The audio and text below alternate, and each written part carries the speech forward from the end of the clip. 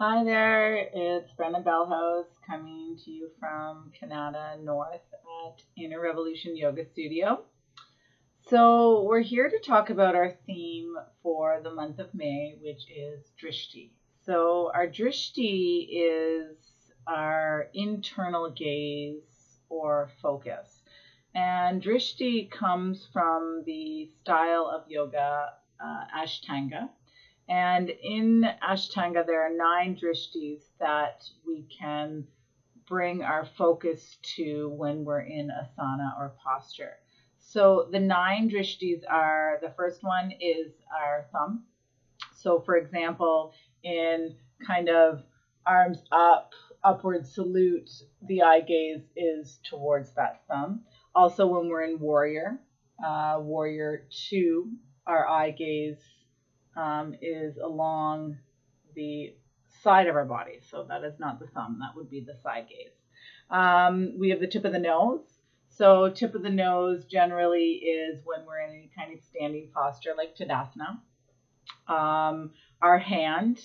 So, when we look at our hand, if we are in an upward salute, we can also look at the hand and the eye gaze if the palms are open. Uh, sideways left, sideways right. So, in triangle pose, um, the left side, the right side, the eye gaze is to the left and the right. Um, upward gaze, so just gazing infinite upward. The navel, as in downward facing dog. Um, our toes, um, as in plank or in um, forward seated fold. And our third eye when we are in meditation or anytime the eyes are closed. Um, so one of the things for me is when I practice yoga, I practice yoga with my eyes closed. And um, this for me is a really deep process that I can block out everything externally.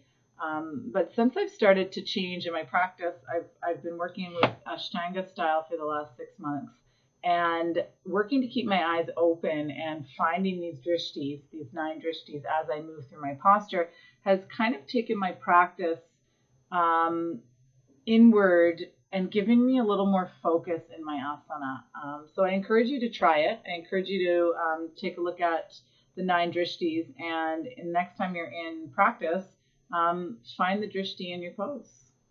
If you have any questions, please feel free to contact us. I'd love to hear from you. My name is Brenna. Have a great day. Namaste.